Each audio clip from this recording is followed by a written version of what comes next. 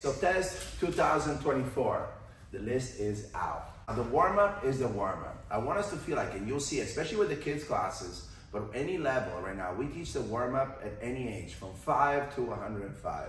Uh, I want you to know this warm up by heart. I want you to do it as much as possible. It's really something that is at the core of what we do. Everything else, it can be a personal preference. But we need something that kind of connects us all and connects our students, uh, and it gives us a chance to really work on certain aspects every single class. Uh, Self-defense. We have looping punches, keeping distance four, and stiff arm. All of them are on the website. If you have any questions, just send us an email. When we go into ground, I want you to feel like it's really about starting to figure out what works for you or what are your preferences and why by the way okay? Most of the time the curriculum is designed so there is a sweep there is an armbar there is something else. The goal here is instead to make sure that you figure out something you like that you feel like it's important you drill the shit out of it until you really own it and that's what you're going to show during that training.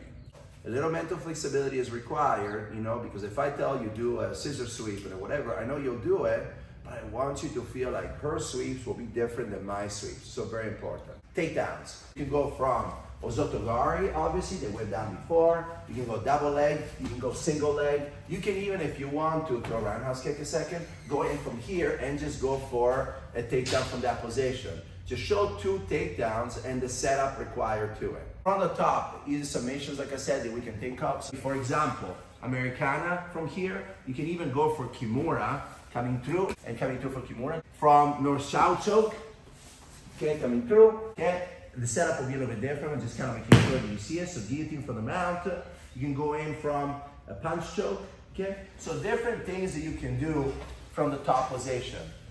What is your go-to summation from there? Now, from the bottom, you see, we can go in for armbar, okay? I can come in from relax it, omoplata, come in all the way up, triangle, okay? Sometimes I can do also a version of Americano keel from triangle.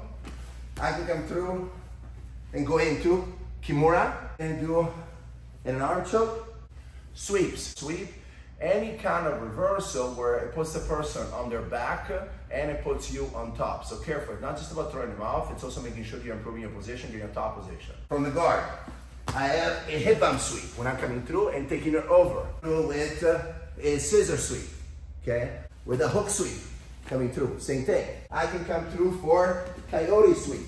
So again, want you to feel like proficiency it should really be about boiling it down to a place where you figure out something that works for you.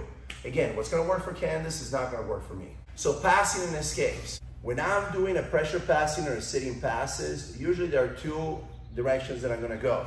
When I'm coming through here, I'm either gonna go over the leg or I'm gonna come in under the leg.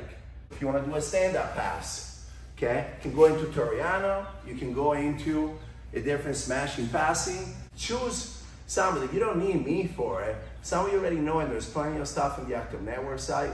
But I want you to feel like it's really about kind of figuring out again what works for you. Escapes. You go with hip escape, especially when she's down. Okay, I can come through and get myself into, you know, a butterfly. I can come through and frame her out and go into a single or into kicking away.